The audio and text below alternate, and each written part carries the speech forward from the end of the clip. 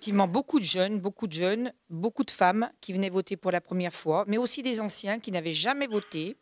qui se sont inscrits pour la première fois sur les listes électorales ou qui venaient voter pour la première fois avec un engouement. Euh, on ressentait un petit peu dans les bureaux de vote, dans les, dans les files d'attente, euh, cette, cette force, hein, cette force pour Jean-Luc Mélenchon.